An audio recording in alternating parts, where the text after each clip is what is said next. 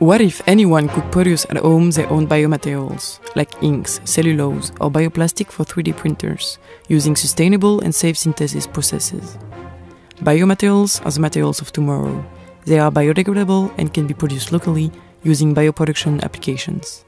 Unfortunately, today's bioproduction is optimized for industrial needs. The equipment is too expensive, the knowledge is not shared. As a result, bioproduction stays inaccessible to most people. Our goal is to create a cheap and easy to use bioreactor by bringing down the cost from 20,000 euros minimum to 1,000 at the maximum. We also want to provide an easy access to relevant biological strains, which, combined with a bioreactor, allows anyone to explore and share the possibilities of bioproduction.